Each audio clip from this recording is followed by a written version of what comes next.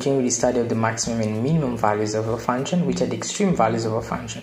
In the previous video, we have seen how to find the maximum and minimum values of a function that has only one variable, but in this video, we are dealing with a function that has two variables, x and y. These are our two dependent variables. So we want to find what are the coordinates that gives us the maximum and minimum values of this point.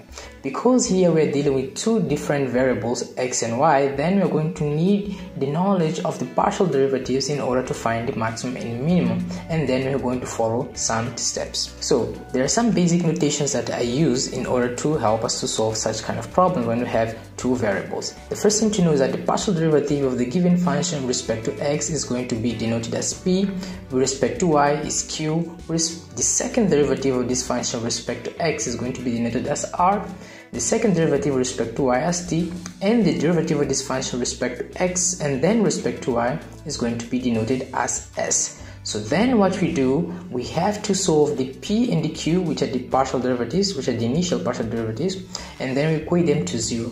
Then we're going to solve them in order to find the values of x or y that one of them is going to give us or both are going to give us. And then we're going to take these values and we're going to replace in the other equation so that we get the coordinates of these points. And then we're going to use these points and then check if the point that we have found they obey this relationship. If the value of r into t is greater than the value of s squared as per our notations here. Then if this condition is satisfied then the next thing that we have to do is to check for the given point if r is less than 0 t is less than 0 in this case if we find something like this then means that we have reached the maximum point of a function. And if r is greater than 0 we have reached the minimum point of that function. We can check with t or with r but mostly we check with r. So let us solve this example. So the first thing that we have to do when we're given this is to find partial derivative of this function with respect to x which is going to be our p. So df by dx is our p. And this is a case of a power rule and we have a playlist about it. So what you're going to have now you're going to have 3x squared and then we have to find the derivative partial derivative with respect to y. This is called q as per our notations.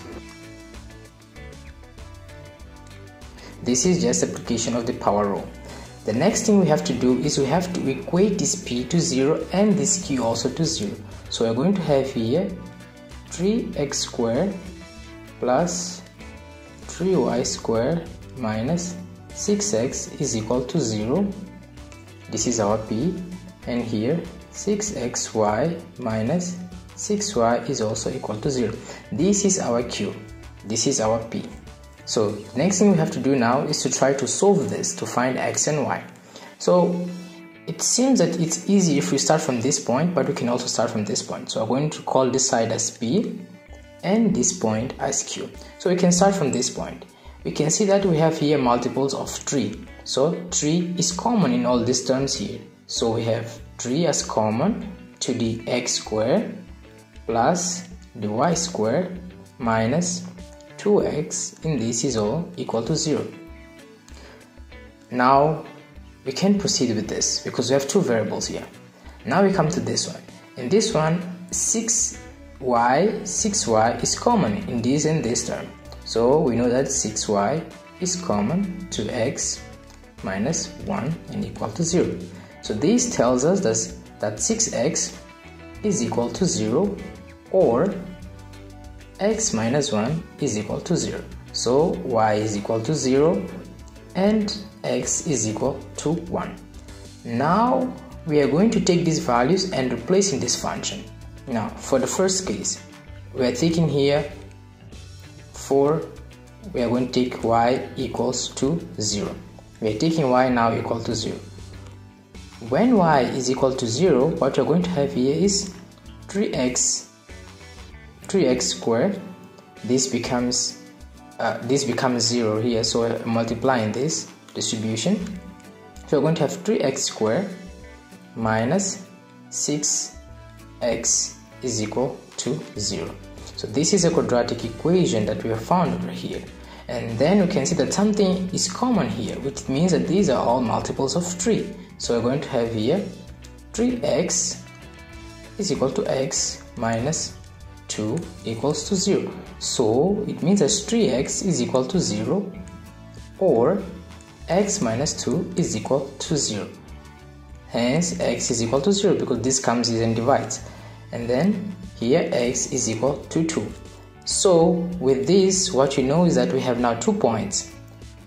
We have a point in which x is 0 and y is 0 and we have another point when x is 2 and y is 0 this value of y is the value of y that we have used to replace here then we go for the next step for x is equal to 1 which is this one here. Now we're going to replace this in this equation.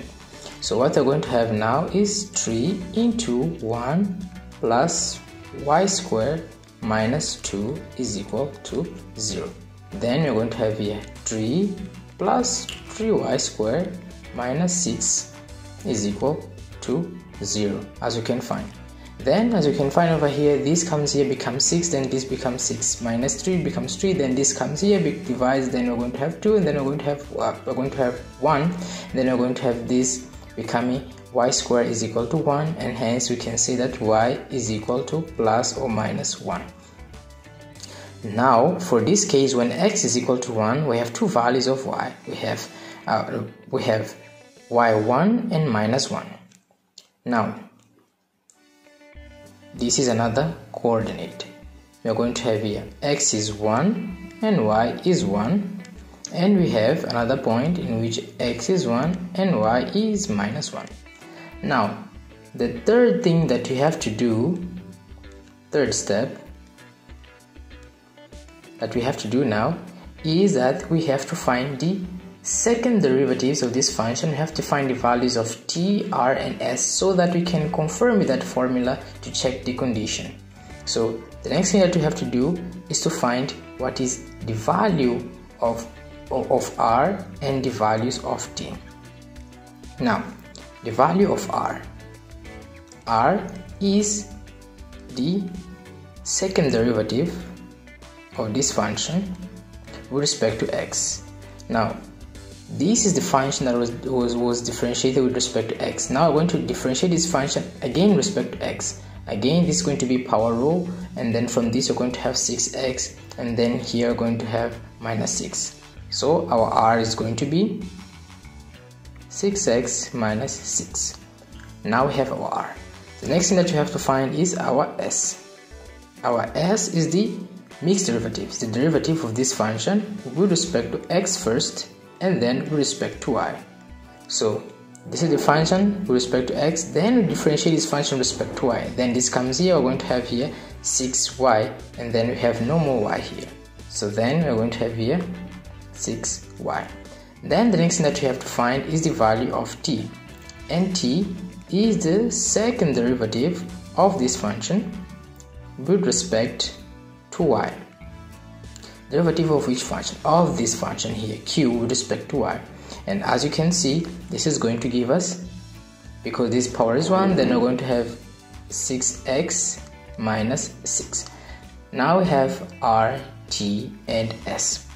The next thing that we have to do is to check if which of these points obey this relationship, obey this condition. This is the fourth we have this condition rt should be greater than s square. Now we're going to test first of all to the point 0 0 now in this point 0 0 we have our value of r which is 6 so we have 6 into 0 is going to be 0 then our r is going to become minus 6 minus 6 is the value of r into our value of t is also going to be minus 6 this should be greater or equal to now we come to the value of x and we place 0 in the place of y. And as we place 0 in place of y we're going to have 0 here. So this is going to give us 36 is greater than 0 so this point should be taken into account. This point should be taken into account. The next point we're going to try is the point 2 and 0 then again the same condition we're going to apply. So we are going to see if we take in this point we take um, x and replace here we're going to have 12 minus 6 so we're going to have 6 6 is a value of r and 6 is going to be also a value of t because we are putting here 2 which is the value of x and again here we're going to have 0 because of this 0 so becomes 0 so again 36 is greater than 0 so this point also satisfies our condition which is this one.